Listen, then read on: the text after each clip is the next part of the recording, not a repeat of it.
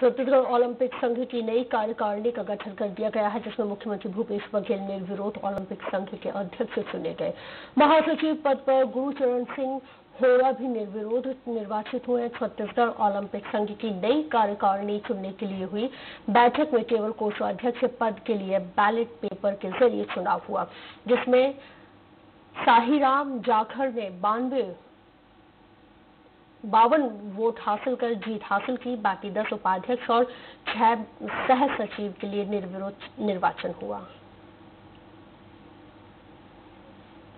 जो गठन हुआ, उसमें माननीय मुख्यमंत्री जी के अध्यक्षता, अध्यक्ष बनाया जा गया है और माननीय गुरुचंद होरा जी, बशीर भाई और मेरे को इसमें कोषाध्यक्ष चुना गया है। मैं पूर्व वॉलीबॉल का अंतर्राष्ट्रीय खिलाड़ी हूँ। माननीय मुख्यमंत्री जी का एक सिंगल नाम आने के कारण उनको अध्यक्ष निर्वाचित घोषित किया।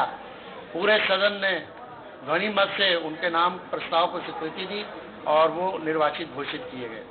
महासचिव के लिए मैं स्वयं निर्वाचित हुआ और 10 उपाध्यक्ष, छह ज्वाइंट सेक्रेटरी और 12 कार्यकारिणी के सदस्य घोषित हुए।